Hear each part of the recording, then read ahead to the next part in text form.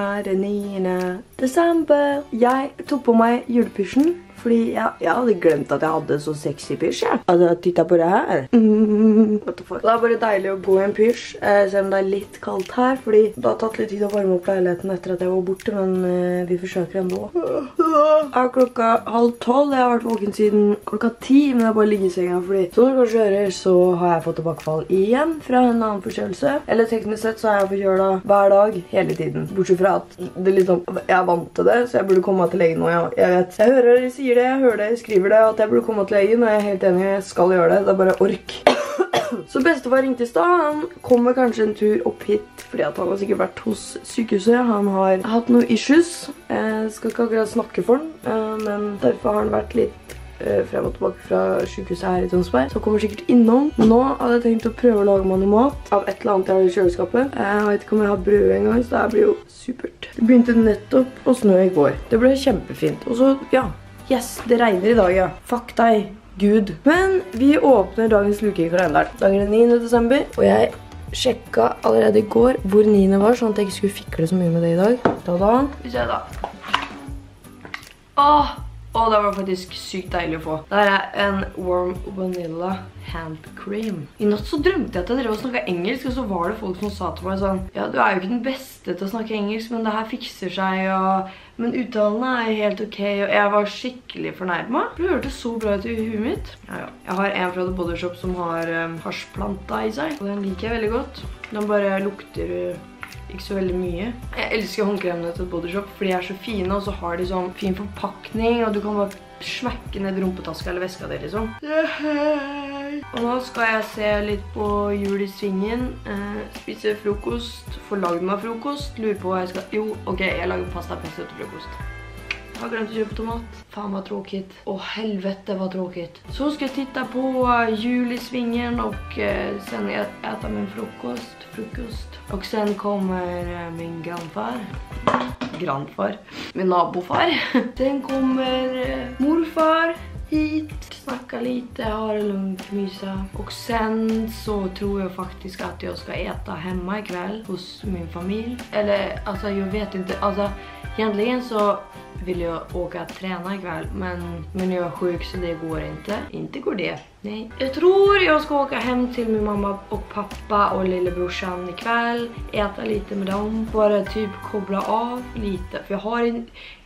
Åh, jag orkar inte åka på butiken och köpa någonting. Det blir så hemskt och så himla fucking mycket. Jag skulle att jag bodde hemma nu, nu som jag är sjuk, så min mamma kan ta hand om mig. Men, men det får ta hand om mig själv. Så tack så jättemycket för att ni lyssnade på min svenska. Jag suger, men försöker ändå. Jag älskar svenska och försöker bli bättre varje dag, men det är ingen, ingen enkel sak alltså.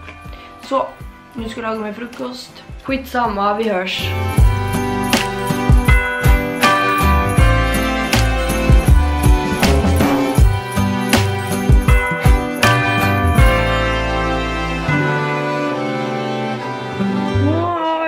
Bestefar vært på besøk. Jeg synes han er en av de som faktisk er flinke til å besøke meg. Han ringer hver gang han er i Tønsberg, og så kommer han, og så opp, og nå har han til og med kjøpt.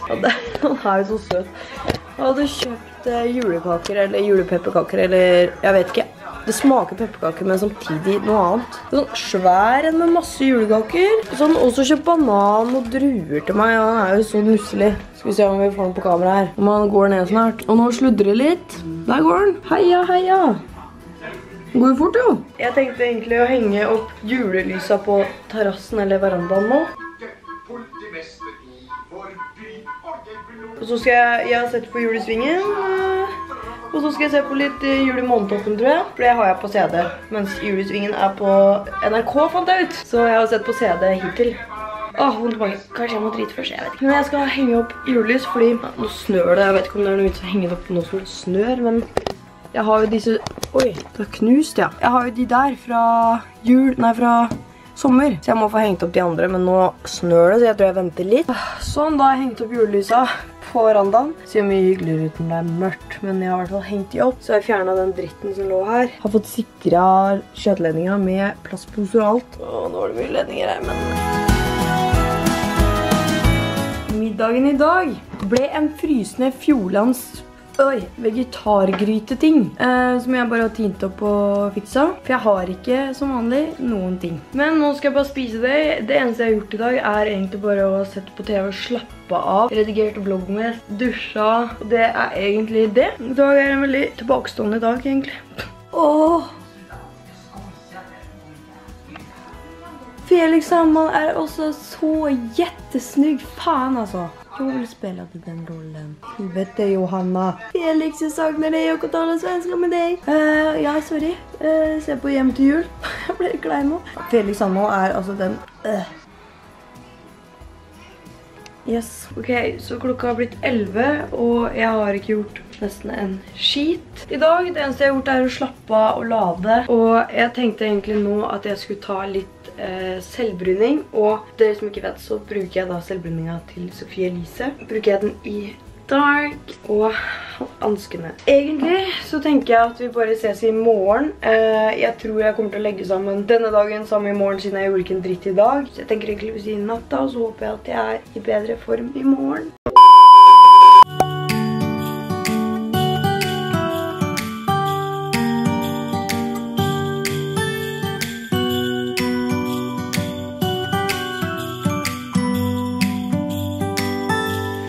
Was the night before Christmas. I was closing down for business in my little present shop. When the bell on the door jingled once more, and then time almost came to a stop. Somehow I knew, and maybe so did you, that everything would change from now on. Yes, from this Christmas on,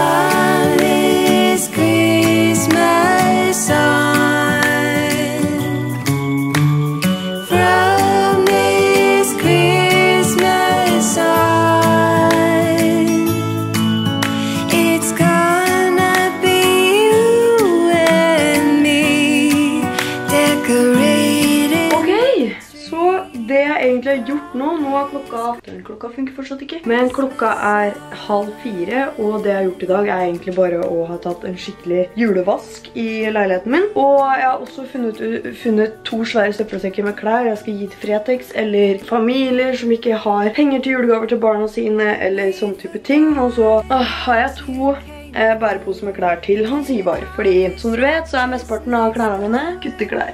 Eller unisex-klær, eller hva man vil si. Så Hans Ivar kan bruke mye av det når jeg da ikke bruker det, eller må bytte det ut, eller hva enn. Dere skjønner, når jeg har den jobben jeg har, så når jeg mottar så mye klær som jeg gjør, da, eh, så må jeg bytte det ut og gi det bort. Og da, hvis han sier bare ikke vil ha det, så kan jeg gi det til kompisene sine, og hvis de ikke vil ha det, så gir jeg det videre til Fretex og sånn. Men så har jeg en haug med jenteklær som jeg kan gi det bort i gaver også, eller, men jeg liker best å gi det til Fretex eller Kirkens Bymisjon, sånn at jeg vet det går til noe bra, og at det ikke ligger bakerst i et skap. Her er den ene søppelsekken med klær jenteklær. Og der er de to posene med klær til han Sivar. Og her er den andre. Så jeg tenker ikke at jeg gjør noe med det akkurat nå. Det får bare være her. Men jeg har i hvert fall vaska og rydda.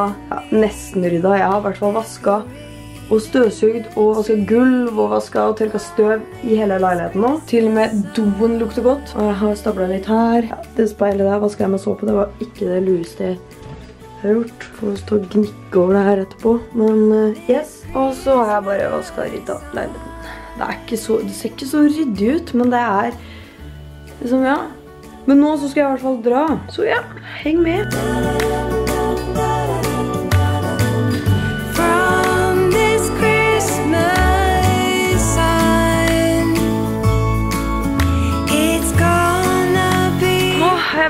Jeg litt sushi på Panda Sushi i Tønsberg. Så nå skal jeg bare vente til den er ferdig, hente den, og så komme meg hjem. Snart hjemme, snart ferdig. Fy faen, det kameraet her er drittlei av nå.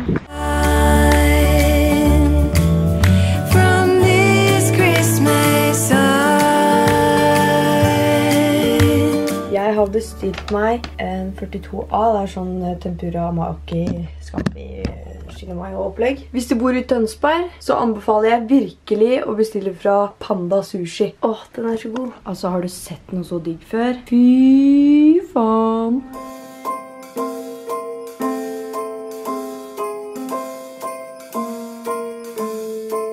Well, I'm all for Christmas. All the happy smiles. Nå skal jeg egentlig bare legge meg. Så i dag så har jeg ikke gjort heller så veldig mye. Jeg var bare på hos frisøren for å eh, fikse litt greier. Men jeg hadde i hvert fall tenkt til å legge meg nå. Jeg skal bare do my night routine. Så i dag så, som sagt, har det ikke skjedd så veldig mye. Jeg er altså så dårlig på det her.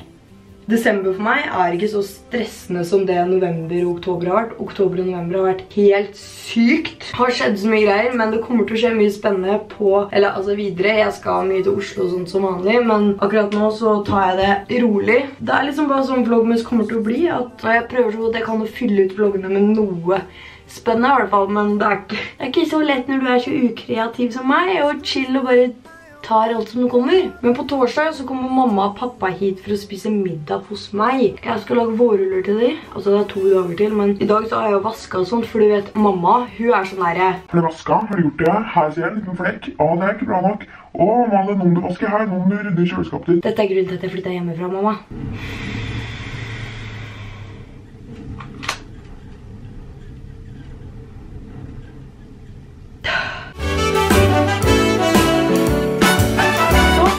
Jeg bare legge meg, se på litt Criminal Minds, og så tenker jeg at vi bare ses i neste vlogmas. Da tenker jeg vi bare sier god natt.